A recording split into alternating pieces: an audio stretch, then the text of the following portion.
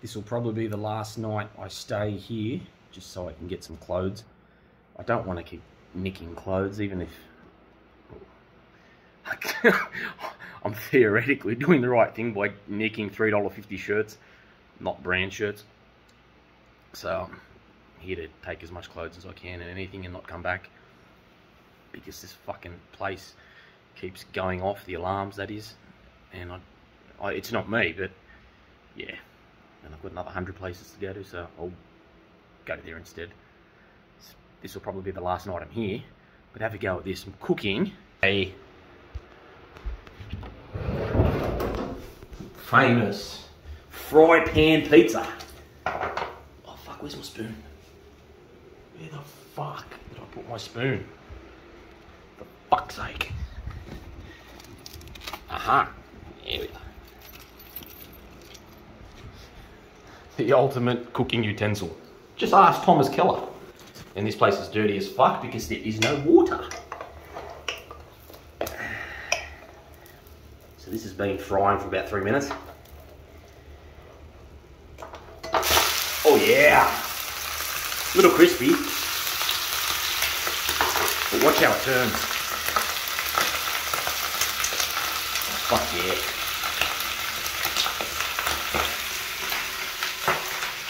So I'll leave that for about a minute and then I'll turn it off. And I'll show you what it looks like. How great. So there you go. Voila. Cheese has melted perfectly. Obviously there's a bit of crisp, but that's mostly from the uh, part of the crust on the bottom that was crisp to the pan. But it's it still has a fucking amazing taste that you just don't get with conventional pizza. So I'm gonna find a way to cut this. I don't think I've got a knife here, but I could go over it with the spoon, bit by bit. I could find something else that is uh, spade-like or putty knife-like. I'll find something and I'll cut it and it will look spectacular. Give me a moment. Faithful to my word, I've had to go over it with a spoon, but it worked. Fuck yeah.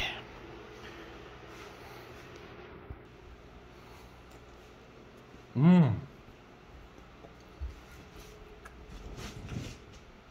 Definitely good. Mmm. Mmm. Really, really good.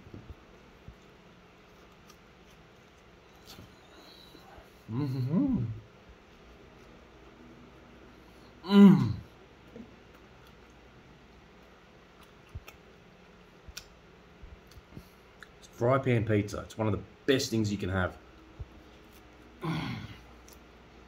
Mm. Mm. Unbelievably tasty. And the fucker only takes about four minutes to cook. Mmm. I think I invented fry pan pizza. I started doing it in about 2019, 2020. I didn't see anyone, I haven't seen it done before. But yeah, fry pan pizza. Fucking beautiful. But then again, there are pizzas you can cook on the barbecue hot plate, so probably not my invention, but I certainly didn't copy anyone. Mm. And all this was playing Resident Evil 3 off the projector. Taking up the, half the fucking room, and it's a big room.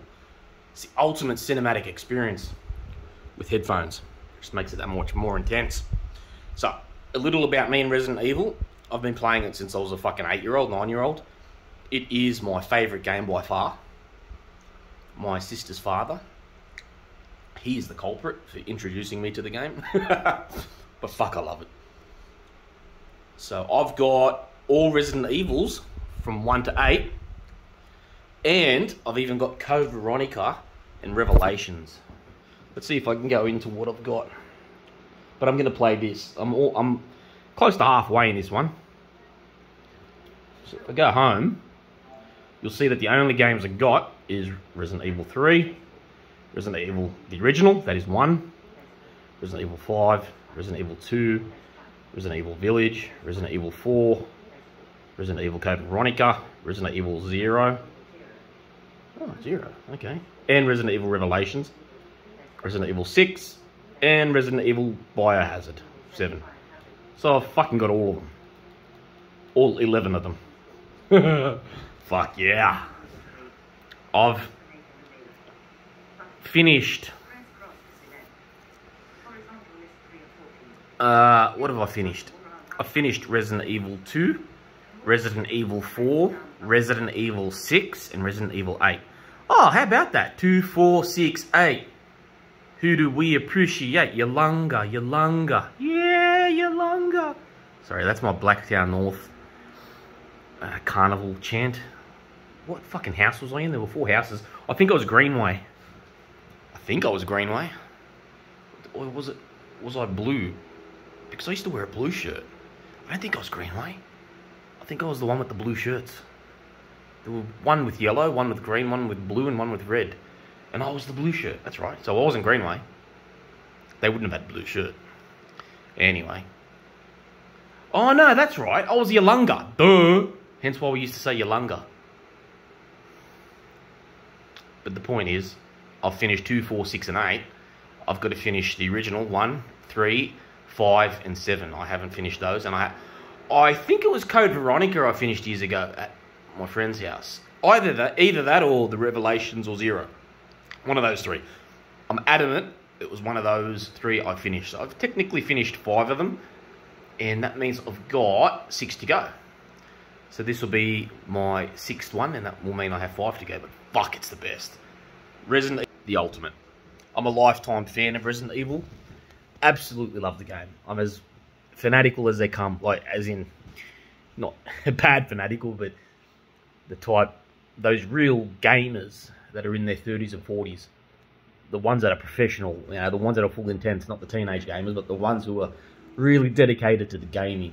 I really am like that with Resident Evil, but nothing else. I'm not a gamer by no means. I don't play anything else but Resident Evil, although I will dabble with Gran Turismo, Grand Theft Auto, and Call of Duty. Just those three. Outside those games, I won't touch any other games. It's just not my thing.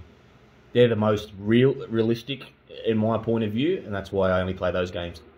I mean, zombies aren't that realistic, but the gameplay, the attitudes, the way it all goes down, it's it's a realistic game in that regard. I just fucking love Resident Evil. Absolutely love it. So back to three. Think I'm up to that big fucking beast chasing me everywhere. I've gone to that subway station.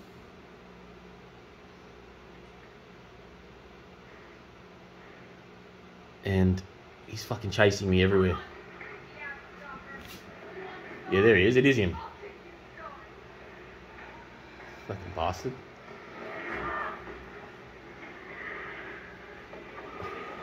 Look at him.